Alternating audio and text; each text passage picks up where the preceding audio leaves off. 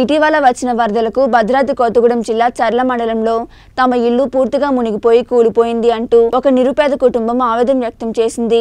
కూలి పనులకు పోతేనే మాకు ఆహారం అంటూ ఆవేదనతో ప్రభుత్వమే మమ్మల్ని ఆదుకోవాలని ఆ కుటుంబం వాపోయింది. ఇలాంటి ఆవేదన మరెన్నో కుటుంబాల్లో ఉంది.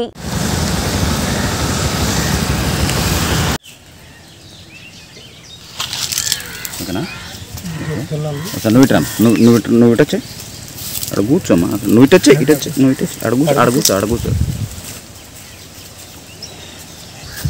కాలేదు తలకాయ. సార్ మేముగా చెర్ల మండలం.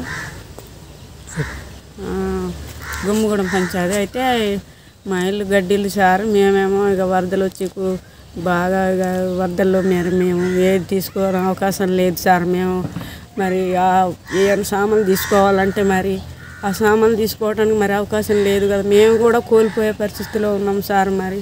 అలాగే మరి మేము ఆ సామాన్ల కోసం చూస్తే మేము కూడా కోల్పోయాం. మేమేమవుతాం ఆయన్ని మేము వెళ్ళిపోయాం. మాది గడ్డిల్లు మేము ఇక ఈ రీత కాకుండా వెళ్ళిపోయేదానికి మరి మేము వెళ్ళిపోయాం. మరి మా ఇల్లు కూలిపోయింది. మేము కూలి పని చేసుకుని బతుకుతాం. మా ఆయన నేను కష్టపడతాము. మరి మా పిల్లలు చదివిస్తున్నాము.